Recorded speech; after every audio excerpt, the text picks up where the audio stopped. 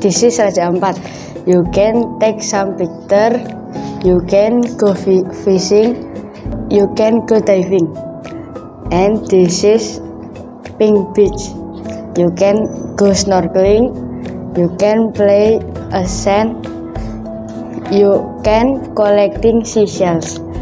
Bye bye. This is Derawan Island. You can go diving and you can see whale shark and you and you can see reef. This is a Maha, Mahakam River. This is a long river in Indonesia. You can see Pesut Mahakam and you can go fishing and thank you.